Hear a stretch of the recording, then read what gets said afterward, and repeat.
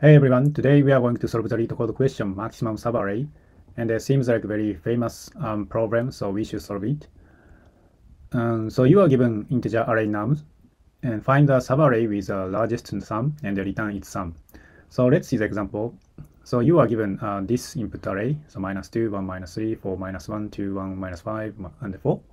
And the output is 6 because um, this part is um, largest sum in the array.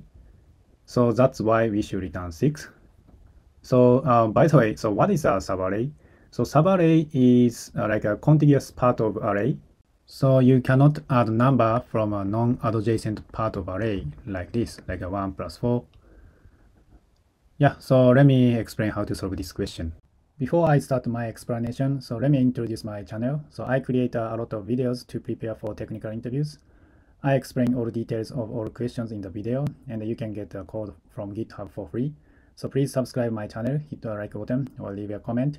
Thank you for your support. Okay, so let me explain with this example. So I copy from this uh, input array from uh, example 1. So a uh, tricky point of this question is that uh, we have a negative number. So if all numbers are positive, uh, in that case we just add all numbers and just return but uh, uh, we have uh, like a minus 2, minus 3, minus 1, minus 5. So there is a zero um, negative number in the input array. And uh, to solve this question, I use two variables like a total and a result variable. And the total is a current total, and the result variable is a return value. And the total uh, variable is initialized with 0. And the result variable uh, is initialized with a first value, in this case minus 2. And uh, basically, I iterate through all numbers like one by one. And uh, every time, um, you know, when we find a new number, um, we just add the number to total variable and then uh, compare total versus uh, result. Then if total is greater than uh, result variable, then update the result variable with total. So let's begin. Um, first of all, we find minus 2 and now total is 0 and just update uh, uh, minus 2 and then compare two numbers uh, total versus result variable and they are same so I don't update result variable. And then next um, we find a 1 and uh, in that case uh, we add uh, plus 1 to total. But before that um, look at the current total number so minus 2 if current total number is negative, then uh, reset the total number to 0 before adding a current number because um, look at the first two numbers. So if we add plus 1 to um, minus 2, uh, total should be minus 1, right? But it's obvious in the first two numbers, um, uh, the largest sum should be 1. So if um, minus 2 uh, updated with 0, so 0 plus and the other current number 1. So we can get uh, like a correct uh, largest sum.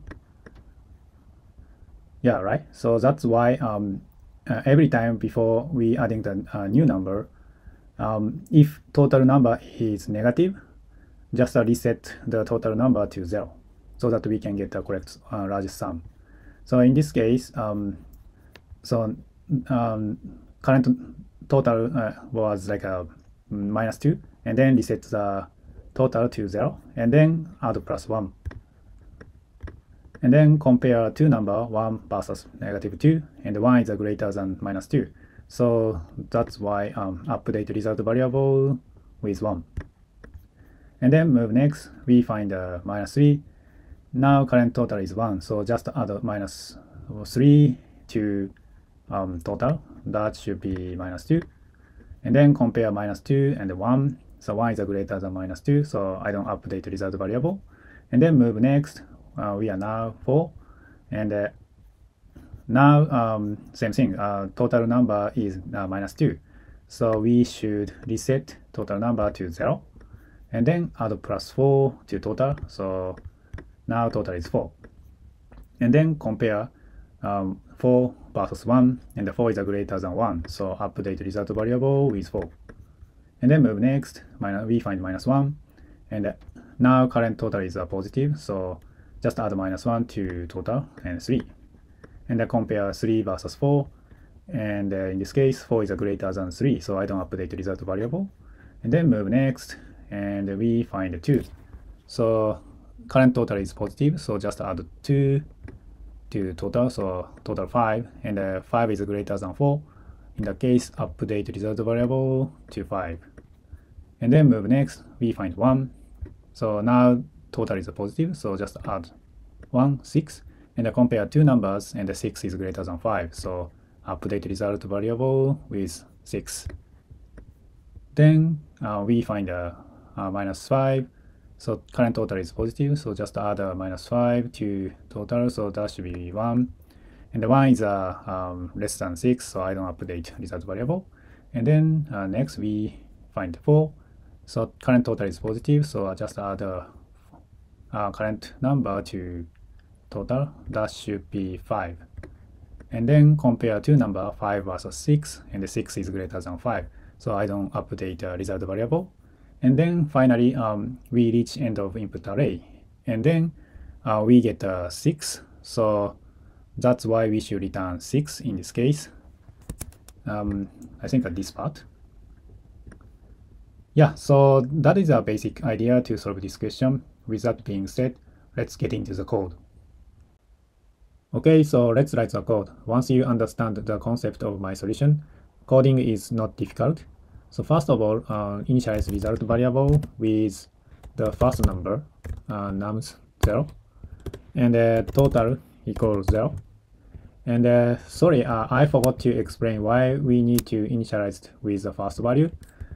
So the reason is like uh, imagine uh, if you get the like uh, um, only minus 2 as an input array. So if if I um, initialize a result variable with 0. In that case, uh, this program uh, will return like a 0, but uh, actually, uh, in this case, we should return negative 2. So initialized with 0 actually uh, doesn't work. So that's why we, uh, we should um, initialize with a first value. So that's why uh, num 0. And then um, start looping. So for n in nums. And then, um, as I explained earlier, um, so basically total plus equal n. And then every time uh, compare um, the two number. And one is a current result value. And then the other is a current total value. But before that, oops, uh, if total is less than 0. In that case, uh, we should reset total variable to 0 equals 0. Yeah, actually that's it. After that, just return result variable. Yeah, so let me submit it. Yeah, looks good. And the time complexity of this solution should be order of n because uh, we iterate through all numbers like one by one here.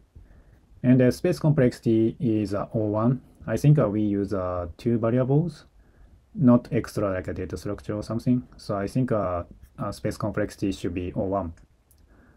So that's all I have for you today. So if you like it, please subscribe the channel, hit the like button, or leave a comment. I'll see you in the next question.